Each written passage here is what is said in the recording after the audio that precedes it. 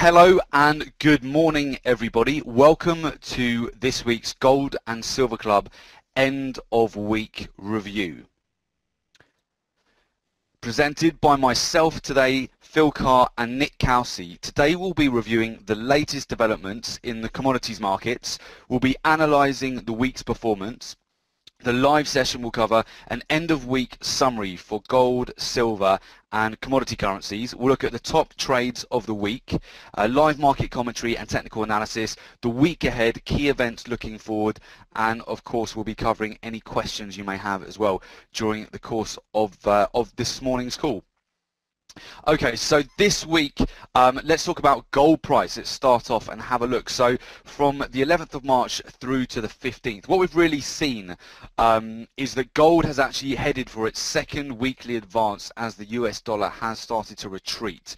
So if you have a look at spot gold at the moment, it's currently trading above $1,590 an ounce. So it's actually heading for its second weekly gain as the US dollar um, has dropped and enhanced some demand for, um, for gold.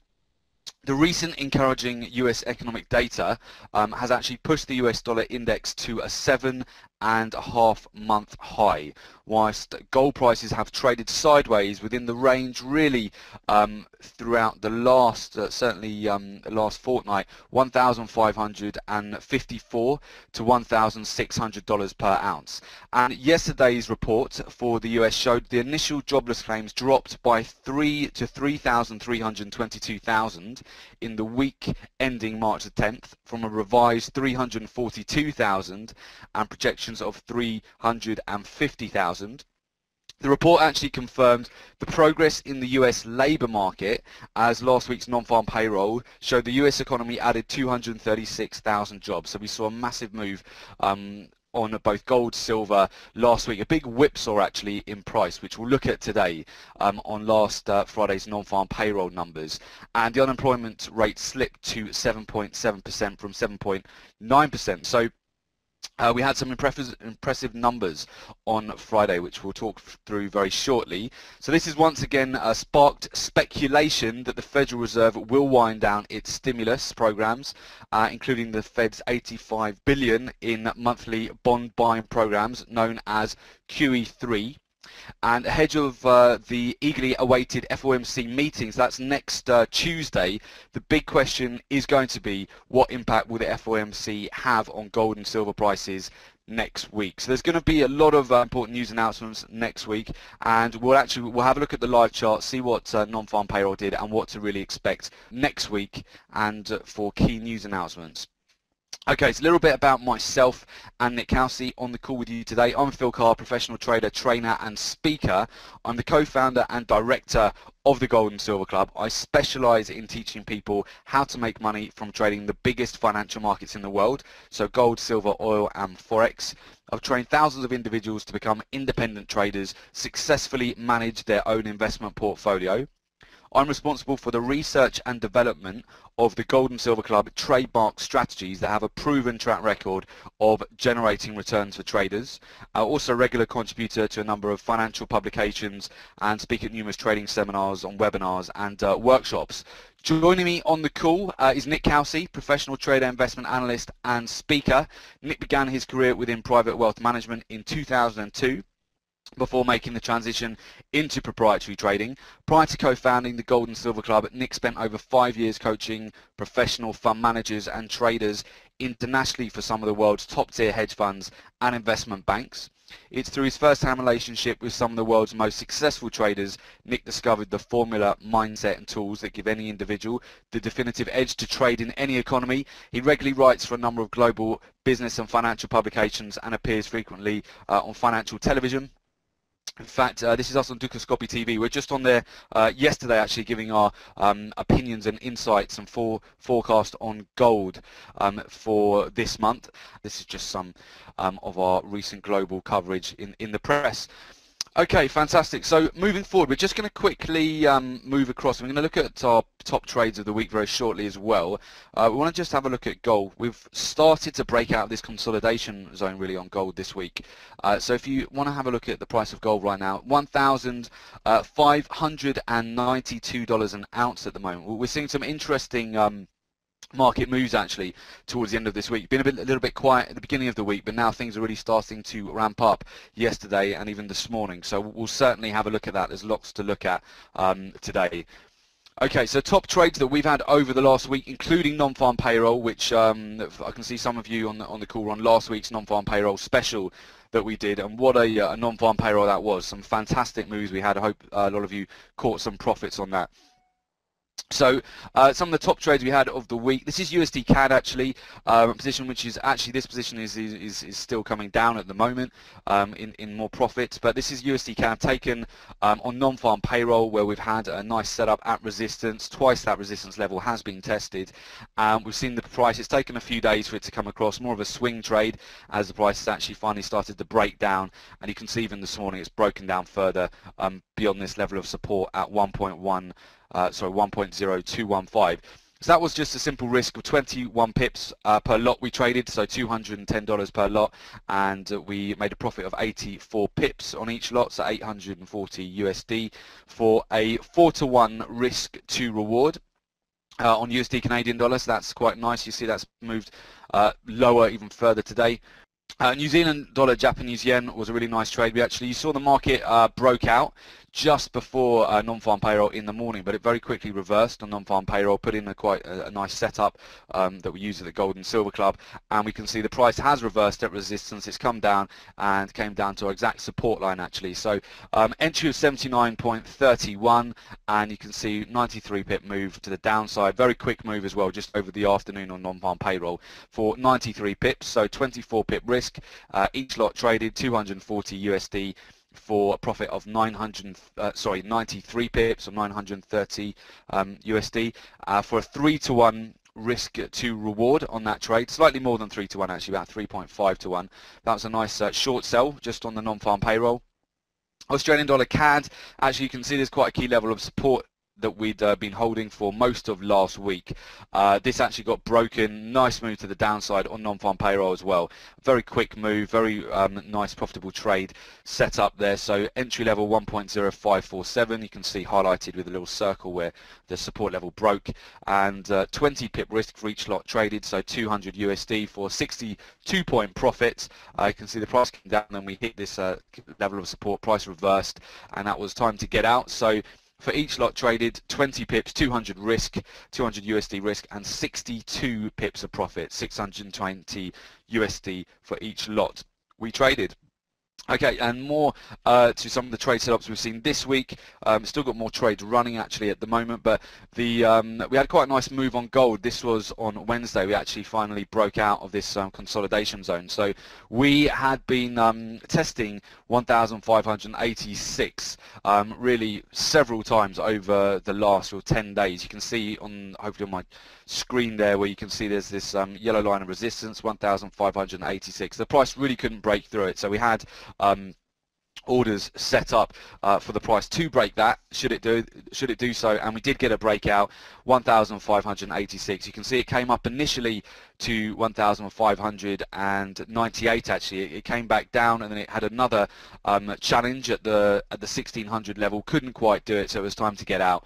Uh, so each lot traded 30 points of risk so 300 USD for each lot traded for a profit of 120 um, points there. So for 1200 USD profit for a 4 to 1 um, risk to reward. So just a nice quick breakout move there on gold. And it didn't quite get to 1600 but it may well retest that that um, early next week, even today if we get some big big moves if we can break out to the upside but more likely that if we are going to test it we could see a retest next week. So we'll look at that very shortly. And um, GBP New Zealand dollar so you may have seen the pound dollar has had a, a nice um, breakout move to the upside. I mean it's been really um, selling off uh, a lot over the last two months or so since February. You can see there's been a lot of downside. I mean, the overall momentum is still down, but we have seen um, quite a big move to the upside just yesterday. So this was actually really uh, nice setup on pound New Zealand dollar. You can see we had a level of support. We had the right, um, just highlighted in a little circle here this was uh, set up for us to get into this particular trade. So the risk on this trade um, was uh, 42 pips. So uh, each lot traded 420 USD for a profit of 251 pips. So we came up here, we actually reached our profit target. You can see this market very much moving sideways, um, pound New Zealand dollar, over the last um, three weeks or so. This is just in a four-hour time frame at the moment. Um, so really nice five to one risk to reward there on pound New Zealand dollar. So those are our top uh, five trades of the week. We do have more trades running at the moment, which we can certainly report on next week, which are moving nicely into profit at the moment. But let's have a look at um, some live uh, technical analysis. So we, we, go across to the live charts and um, see what is going on this morning with the markets. Okay, I'm just going to switch screens, guys. So you just you might get a just a temporary pause here as I switch screens. Just bear with me. Um, yeah, the first market I wanted to really pay attention to was um, USD Canadian dollar. Been watching this market for quite a while because uh, go on daily time frame actually might have to zoom out a little bit here so you see and uh, we are actually coming up to a previous level of resistance here. So you can actually see going back to, uh, to really June 2012, this whole area here which has provided resistance earlier on in the year and we are very interested in these uh, in these levels because often they can represent um, future levels of resistance as well. So we can see this level here hasn't really been broken through. We had um, a nice setup on this. Price came down. Was supported by a price action level at 1.02544 here. We've actually got two price action levels. Um, very close to each other. So we were looking, uh, number one, for setup at resistance, which we did have, and we were also looking for, because the price was being supported at this level, for a breakdown from this actual level of uh, this level of support. And we got that yesterday. You can, you can see here we've actually broken down. Key moving averages looking good now for the price for potentially USD CAD to take a breather now. It's had quite a good run well a very good run so far in 2013 you can see we've come up to a key level of resistance. This market is starting to look a bit weak. Um, there is obviously uh, a lot of correlation between USD CAD and the US dollar index and also inversely to gold. So we're starting to see gold um, form a little bit of a base now and starting to, to potentially going to have another attack of 1600. So if we see gold break out to the upside, USD CAD likely to continue its move to the downside. Uh, you can actually see, so we've got a engulfing bearish candle here anyway on USD Canadian dollar, so that's engulfing um, at least two candles on the daily, and we are seeing now this level of support 1.02153 breaking down. So you can see here where we are starting to see there's not too much uh, to, to, to, stop the price really coming down now. Um, so USD Canadian dollar uh, looking like there's quite a lot of weakness on this market at the moment. Um, it's taken a while for this market to actually uh, make a decision as to whether it was just going to be supported and go higher for a breakout or whether it was going to break down. We are certainly this morning uh, starting to see this price break down. So USD Canadian dollar, uh, one to certainly um, be uh, keeping an eye on. So let's have a look at gold, which moves uh, the inverse really to USD Canadian dollar the majority of the time. Uh, so we can see here what's happened on gold. So if we just go and highlight the move we've had this week. So this whole area of consolidation that we've been having um, since the end of February really from here we go. So from this this whole, you, you can actually draw like a square um, there, just to show a box, if you like, just to show where the, the price is consolidating. So we consolidated between 1561 to 1586. So a break down in price or a break out in price to the upside, um, you tend to see the more the price kind of goes sideways, consolidates. It's like a, a spring being wound up. Then finally, when it breaks, it's gonna it's gonna have a bit of a, a, a momentum, high momentum move to it. So we saw that on Wednesday. Price broke up at 1586 and we came up and uh, this is where we've actually tested the 1600 hasn't followed through now um, we are so we are still seeing the price hold above I mean it closed above the 1590s yesterday um, so we are it's looking in the short term it's it's looking like a, a, the bulls are in control of this market in the short term. Let's just go to the day. Uh, you can see some of the key MAs on the daily are actually starting to um, to hook upwards. Uh, you can see just here signifying that we may be about to bottom out in the gold market. Now we don't know how long this will actually last because Federal Reserve announcement is next week on Tuesday, so um, that could really put a spanner in the works for um, for this this move in gold at the moment. But the key levels to really have a look at for for gold we are still very much in a downtrend. So this represents, this green line on here is a trend line, represents a downtrend. So really, for this market to um, to break out to the upside, it needs to get above the 1630s. And what you may see is that the price, we could have a breakout to the upside. Let's say 1616 would be the previous um, level that we haven't broken through since mid-February. That's the that's going to be the first um, important level for gold to be able to break out from and we may see profit taking the price come back down. If we can break through 1616, then you've got some key areas of uh, resistance between 1620 to 1630, and obviously you're going to be also got this level here, which is the down downtrending. Let me just go to daily. Here's daily. This is the trend line which has been in place um, since the end of September 2012.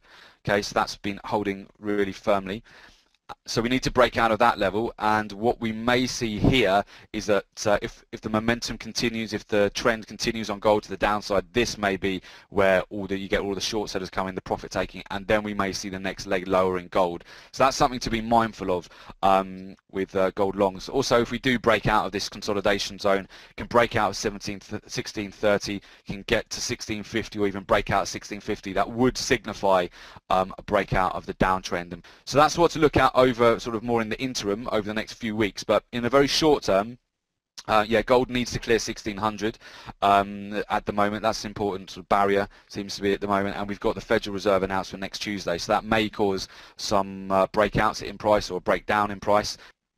Okay, so that's gold, and let's take a look at silver, because silver is actually quite interesting. So you can see silver here, building a base. You've got um, quite a sharp, sort of known as a dragonfly doji. Reason being it's a candlestick, looks like a dragonfly. This is um, a, a, bullish candle, so we've seen that these candles have been put in several times, um, three times actually over the last fortnight or so we can see. So we had uh, price price keeps coming down to test these lower levels and get support. Buyers are coming into the market. You can see we're starting to bottom out a little bit in silver here as well.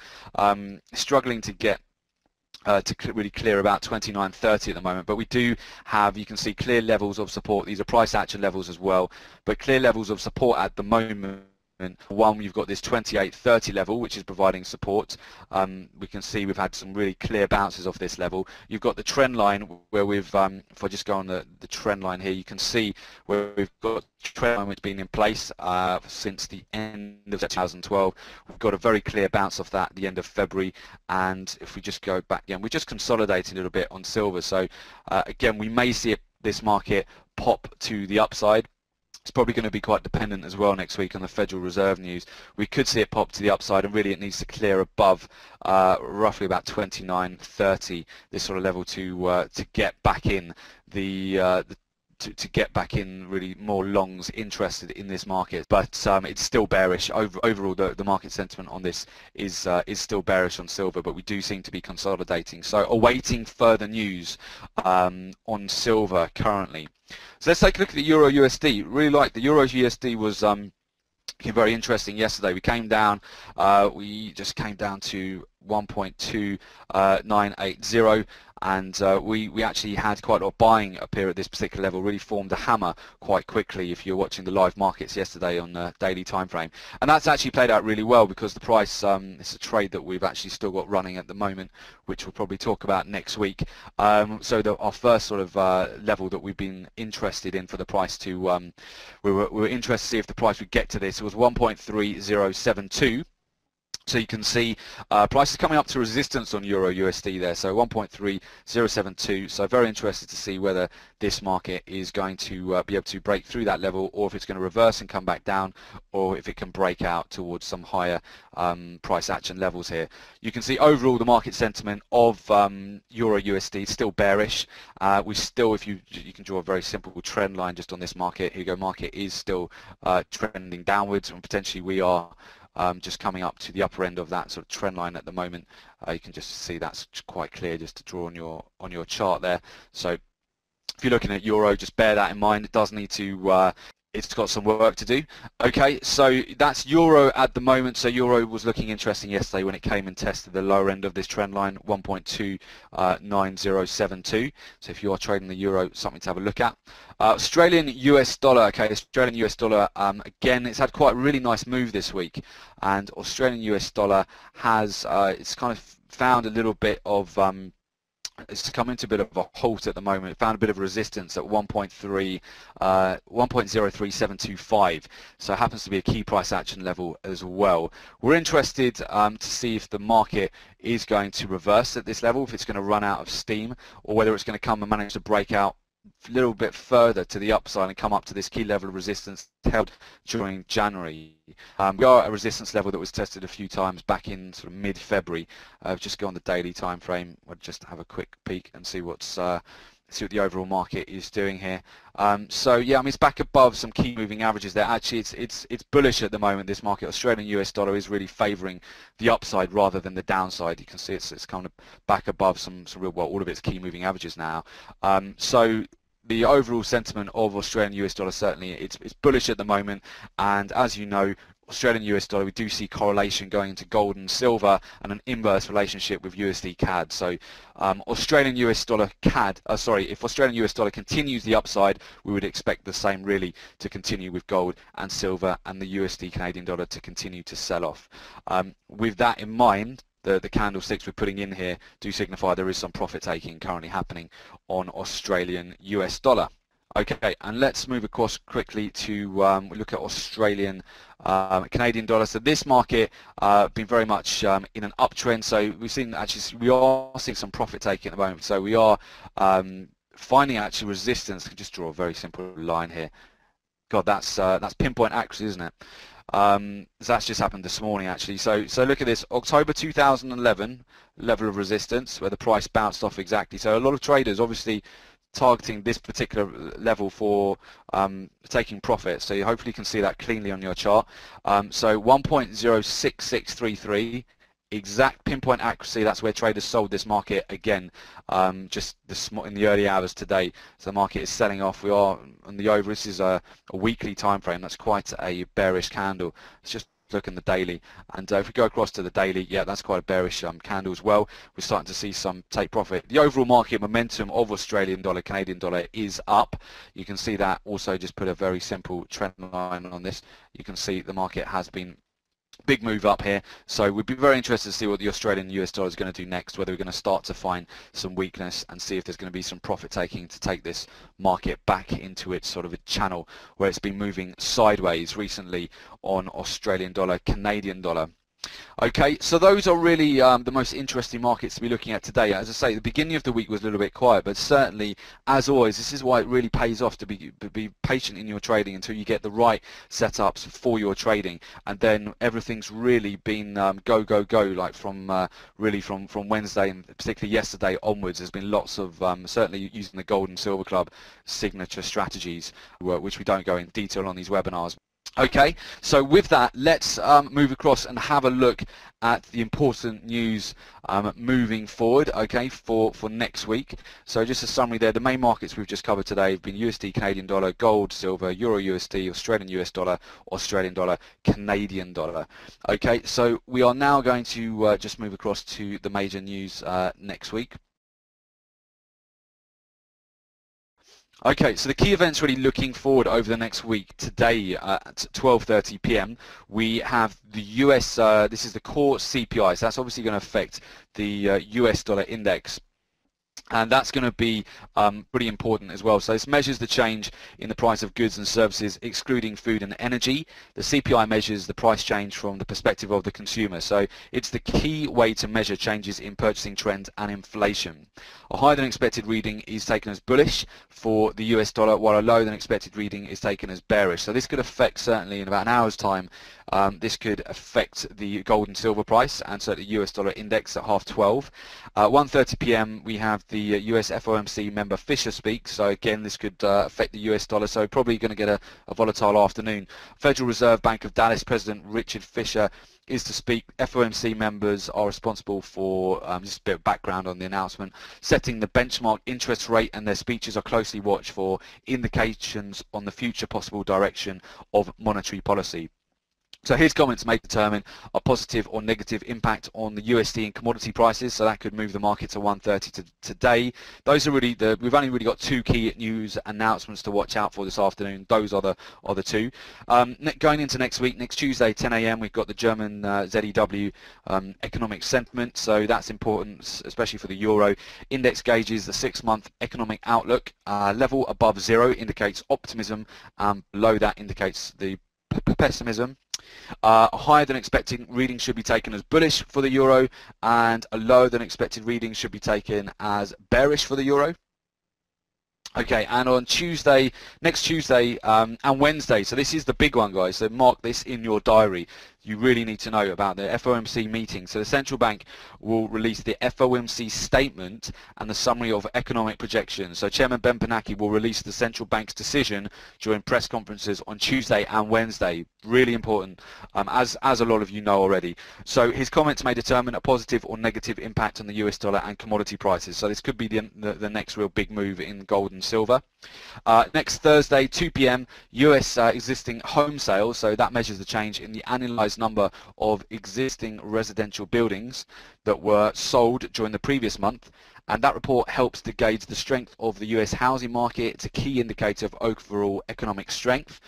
A higher than expected reading should be taken as bullish for the USD while a lower than expected reading should be taken as bearish for the USD so that's important again on Thursday and Friday at 9am we have the German IFO Business Climate Index and that measures the expectations for the next six months and that's a composite index based on a survey of manufacturers, builders, wholesalers and retailers and that index is compiled of the IFO Institute for Economic Research.